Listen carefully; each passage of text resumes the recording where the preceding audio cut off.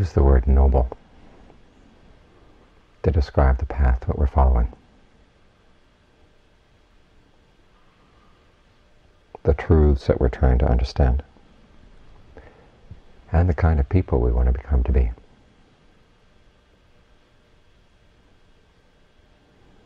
We're translating a Pali word, Arya.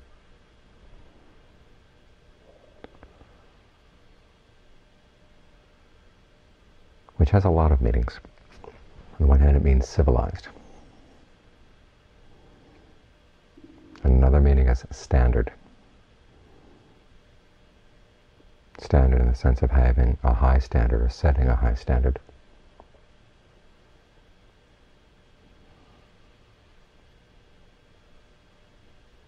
There's a passage where the Buddha contrasts two different kinds of truths. There are noble truths and then there are personal truths. Personal in the sense of things that are true for individual people, things that are subjective.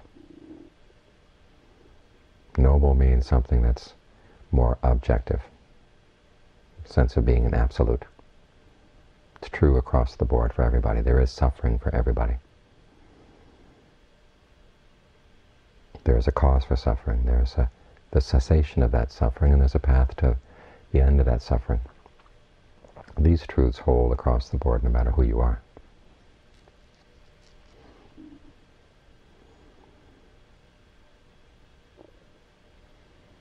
In a sense, the word Arya is pretty well translated by noble, in the sense of being civilized. And there's also that meaning of noble that we tend to forget, which means unchanging.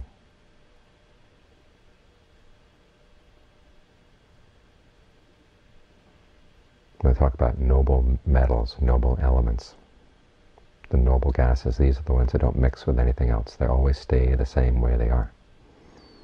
Like gold. Gold is a noble metal. It's the reason it's so valuable. No matter how long you keep it, it doesn't rust. It doesn't turn into anything else. I was just reading in an astronomy book, an old passage from a I think it's a Greek, Greek author. Talking about the noblest things you'll see in your life are the sun and the stars because they never change. They're always the same. Whether you're young or old, the sun has never changed, the stars have never changed. Of course, since then we've learned that they do change. But there's still that idea that nobility means unchanging, that you're not affected by things, that your, your mind isn't turned aside by things. This is what we talk about when we talk about a noble person the word has been tarnished by the idea of the nobility, who many times are not very noble.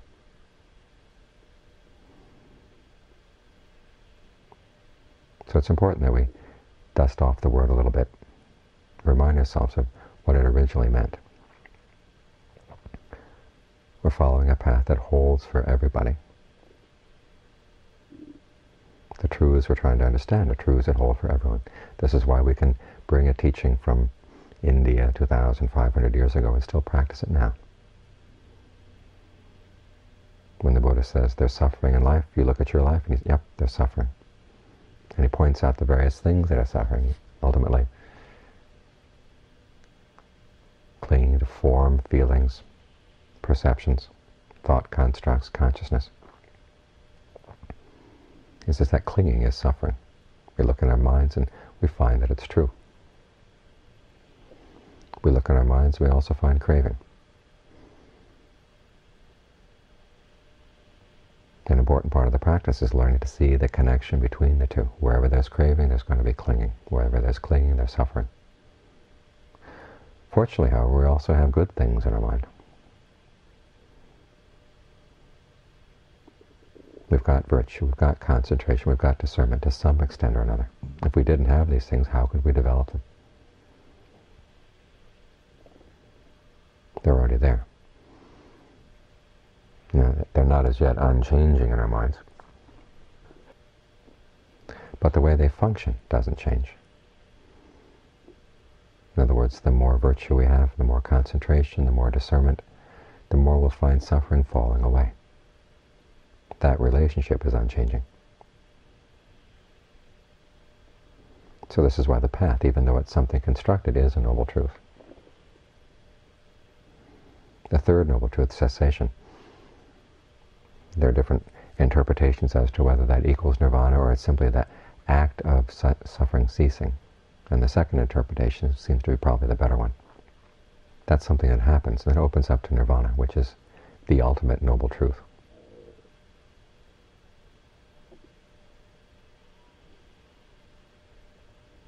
Because it doesn't change at all.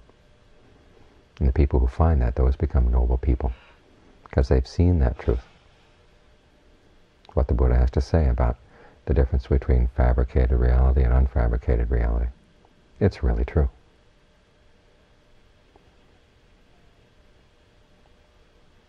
And once you've finally seen that,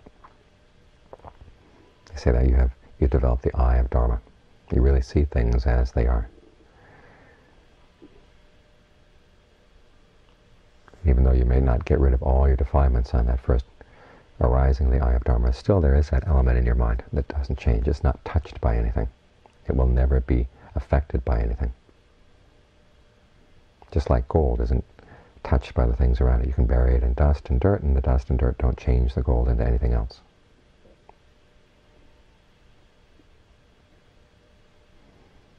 This is why people like this have a, a solidity to them. This is the kind of solidity that we want to discover in ourselves. And to see it, we have to make our minds as solid as possible. Of course, making solid is something different from discovering the solidity that's there, but it's only by making the mind solid and secure. As best you can make it through a path that's constructed, that puts you in a position where you can open up and see what really is unconstructed inside.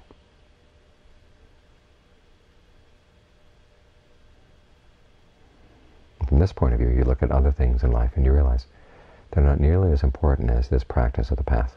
This has to have first priority in our lives. Because the other things we might latch onto are sure to change. They always mix up with other things. And as soon as things get mixed together, they change. There's no, no telling where they'll go.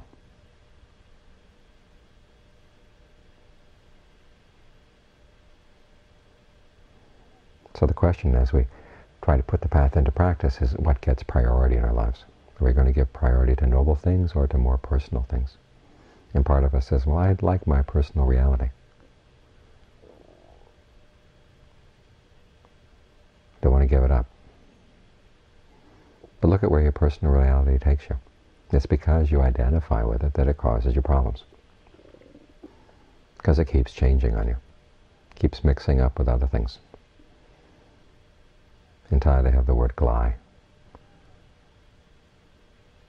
You mix A with B, instead of just getting A plus B, you get C. Something different entirely. And then C gets mixed with D, and then it turns into something else entirely. And after a while, what was A and B there's no A and B left there anymore. In other words, what starts out as pleasure might end up as pain. The exact opposite.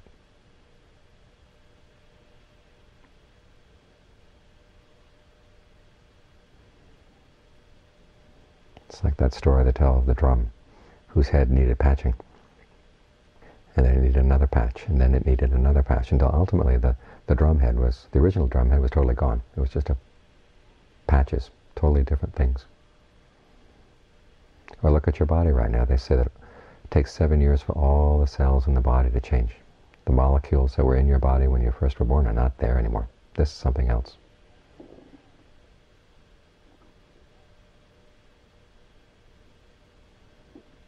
So this is the nature of things that change. They just keep changing and changing, and not just changing slightly, but even though the changes may seem incremental, they can turn into the total opposite.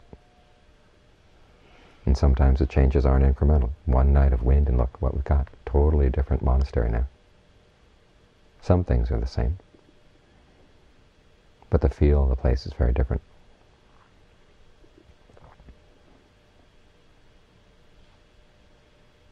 The important thing is that, is that our minds don't change. This is what we're working on as we practice. Developing concentration, the Buddha said, is the heart of the path. People tend to forget this. they shift attention over to mindfulness as being the most important part. But when the Buddha ranks the, the importance of the different parts, he says right concentration is the heart of the path. The other seven factors are its requisites, things that it depends on in order to keep it right. But this is the heart, trying to make the mind as still and as solid and as dependable as we can. Because after all, the, the insight that comes that we're trying to develop can, can be pretty threatening if your mind is not stable. We talk about the strengths in the practice. Conviction, persistence, mindfulness, concentration, and discernment. And one way of understanding them is that the first four get your mind strengthened to the point where it can take the insights that the Buddha has to offer. Those things we identify with, those things we latch on to as, as mine. We have to put the mind in a position where it, it doesn't feel threatened by being told that they're not really yours. until it actually sees the advantages of letting them go. And to do that, it requires strength. Part of that strength is understanding the principle of karma. Realizing that you are creating your experience all the time. It's a combination of past karma, present karma. But the creative force lies in here. Your sense of who you are, what you want to identify with, your personal truths, those are not a given. Those are things that you create. And if you really look at your actions, you realize that sometimes you're skillful, sometimes you're not. And that requires you to step back and look at your actions more objectively. The Buddha said that he first got on the path when he began to, when he was able to step back and look at his thoughts. And instead of simply identifying, well, this is my thought, therefore I'm going to continue thinking it, he realized he had the choice. He could follow it up or not. And if it looked like it was being motivated by unskillful motivations, well, he could drop it. and stop it. Once you develop that sort of objectivity to your actions and your thoughts, then it's a lot easier to look at other more endearing things, or other more other things you tend to be more attached to. And you begin to question those too. Are these things I really want to hold on to?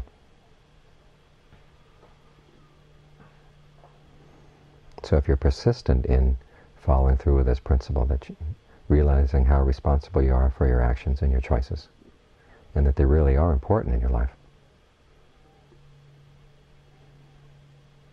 and you get more and more dedicated to this principle of skillfulness. Okay, that persistence, the skillful qualities that are needed in order to act properly, which are mindfulness and alertness. These can bring you to a stronger state of concentration. The mind has a sense of well-being, a sense of solidity. And it doesn't feel so threatened by the idea of letting go of things. Because after all, to get the mind concentrated, a lot of things you have to let go.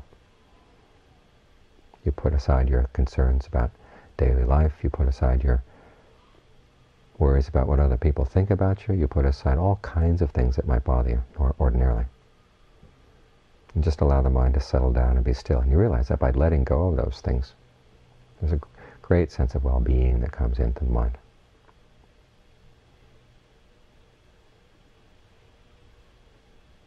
That's the kind of mind that's ready to hear what the Buddha has to say about discernment. As you look more and more carefully at the things you do with your mind, you realize that some things lead to only temporary happiness and other things lead to more lasting happiness. When the Buddha talks about impermanence, he's not talking to people are just sitting around and deciding what they want to enjoy for the day. They have to ask themselves what I want to produce with the time and energy I have. After all, your time is limited, your energy is limited. What's the best investment for your time and energy?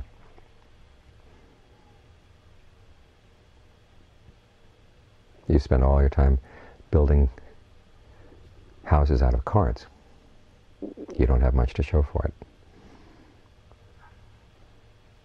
If you spend your time digging up the gold that lies inside you, then you've got a lot to show for it. So it only makes sense that you want to look at something that's more lasting. Look for something more lasting in your actions. And especially when you realize that if you spend a lot of time working on impermanent things or inconstant things that are going to make you suffer, and they're not really yours anyhow. They stay a little while, then they go.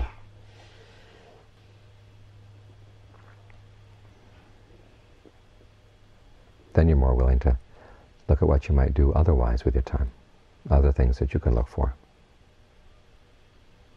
When you have this perspective, it's a lot easier for, for you to let go of all the unskillful things, all the things that tie the mind down, to let go of that clinging that's causing the suffering.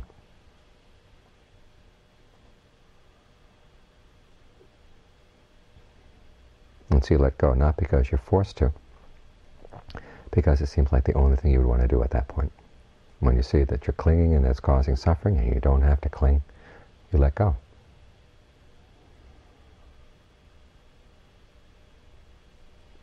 There's a sense of great freedom, a sense of the mind's finally settling down in the most solid place it could possibly be, or discovering the most solid thing it could possibly find.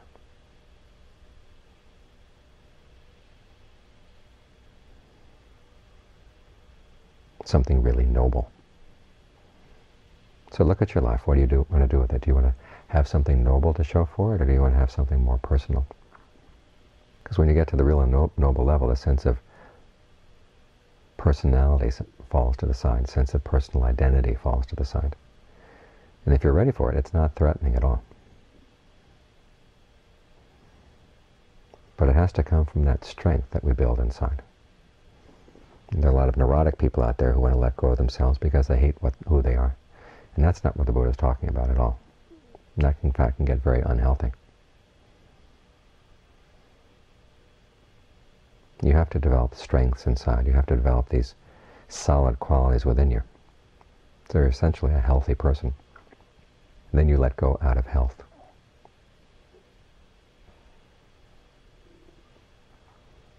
And what's left is noble. It doesn't change. It doesn't interact with anything at all.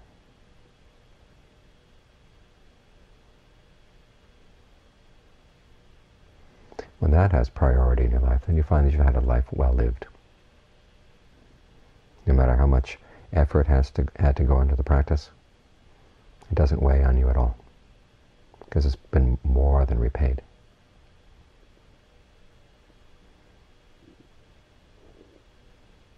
And all the various skills that you develop to, to get there, even though you have to let them go. In other words, you would let go of the path at the last step.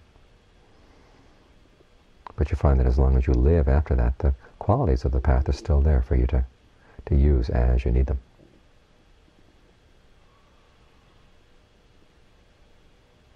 So in letting go, you're not depriving yourself of anything. It's simply that you learn how to carry your tools around uh, without their weighing you down. When the point finally comes so that you don't need tools anymore, okay, then you're done with them. You don't need tools for anything at all in the moment of an awakening that you've finished your own personal work. If you have time left to help other people, fine. But then ultimately there's a point where there's no more jobs, no more needs, yours or anyone else's.